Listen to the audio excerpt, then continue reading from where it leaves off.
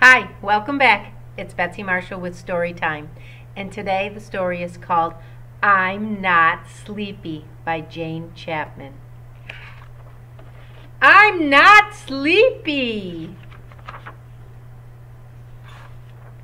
I'm Not Sleepy by Jane Chapman. At bedtime, Grandma always carried Mo up to the top of the tree. It's a long way up for a little owlet, she puffed. Hop, flutter, flump. Grandma smoothed the soft leaves into a cozy nest and sat Mo carefully in the middle. Play with me, giggled Mo. No, sweetie, it's time for bed, smiled Grandma, and she blew him a kiss and hopped down to her book. The stars were fading when Grandma heard a rustle. Is that you, Mo? Yes, I haven't had my bedtime snack. The bedtime snack, how could I forget? thought Grandma. So she took one, hop, jump, flutter, flump, to the top of the tree. Grandma sat and waited for Mo to finish his bedtime snack. Play with me, Mo snuffled between mouthfuls. No, honey bun, time to go to sleep, said Grandma, and she blew him a kiss and hopped down to her book. The last bats were going home when leaves began to rain down from above. Mo, Grandma called, is everything all right? No! And I'm not tucked in! He's not tucked in, sighed Grandma. Up we go.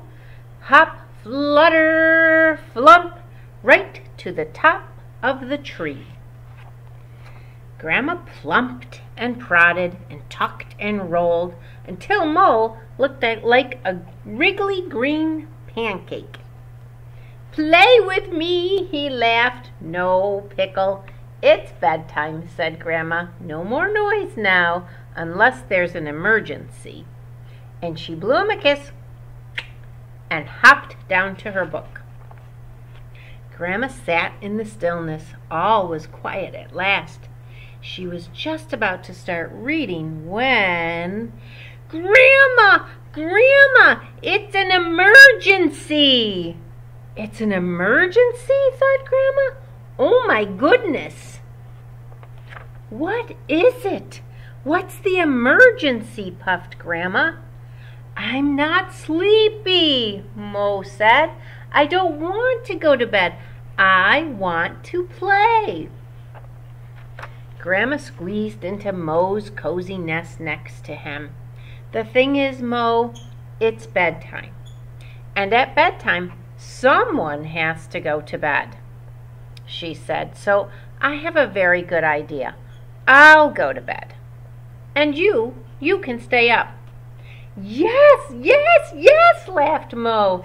And you'll need fresh leaves and a bedtime snack and tucking in. And every time I come up, I'll blow you a kiss.